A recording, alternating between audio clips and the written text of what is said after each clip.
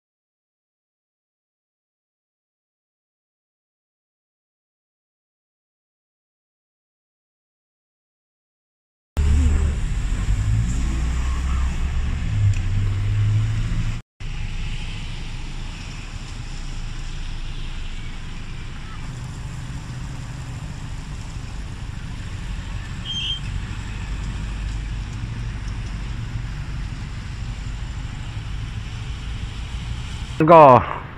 ไปวอร์มรถปกติครับวอร์มรถประจำวันปกติครับ แล้วก็ขี่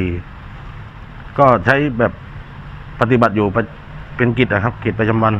แต่สาเหตุที่มันเกิดขึ้น ผมก็ไม่ทราบว่ามันเกิดขึ้นจากอะไร แต่ว่าที่แน่ๆคือระบบเบรกครับ ระบบเบรกเพราะอย่างอื่นไม่มีอะไรเสีย ไม่มีอะไรสึกหรอเพราะรถเรารถของเทศบาลเราครับ ตรวจเช็คอยู่ประจำ ครับ ทีนี้พอช่วงที่ขับลงมาถึงเนินเนี่ยทราบตอนไหนว่ารถเบรกเราทำใช้การอ่าเบรกครั้งที่สองครับ ครั้งแรกยังจับ ครับครั้งที่สองเบรกเริ่มหาย แล้วก็ย้ำย้ำมาก็ไม่มีเบรกแล้วครับ ครับตอนนั้นด้านหน้านี่เห็นอ่ามีรถจอดอยู่กี่คันอะไรยังไงอ่า ด้านหน้าตอนผมเบรกไม่อยู่แล้วนะครับ มองไปด้านหน้าเนะครับ ด้านขวารถปิกอัพรถเก๋งอะไรจอดอยู่ ครับ เลนตรงกลางก็รถปิกอัพด้านซ้ายมอไซค์ครับ แต่ผมก็เขียวเชิญเกียร์นะครับ เชิญจากเกียร์สูงลงมาเป็นเกียร์ต่ำเพื่อชะลอความเร็ว ให้ได้ดีที่สุด เพื่อควบคุมรถให้ได้เยอะที่สุด แล้วก็ ตอนนี้มันผมจะลงอะครับ มันมีเวลาตัดสินใจอยู่หนึ่งสองสามสามช็อตนะครับหนึ่งรถต้องไม่เสียหายเยอะสองผู้ที่ใช้ร่วมถนนกับผมครับ ต้องไม่เป็นอะไร สามผมทำยังไง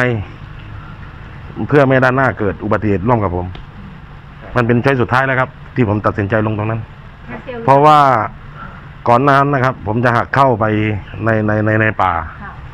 แต่บังเอิญว่าผมหันมาเห็นพี่เขาที่ไปด้วยกันนะครับ ถ้าผมหักปุ๊บ ถ้าเกิดรถไปกระแทกต้นไม้ คนซ้ายเจ็บแน่นอนนะครับ แล้วก็ที่สำคัญ